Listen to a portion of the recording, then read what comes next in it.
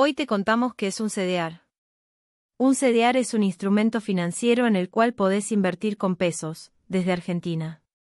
Representa una acción que cotiza por lo general en Estados Unidos.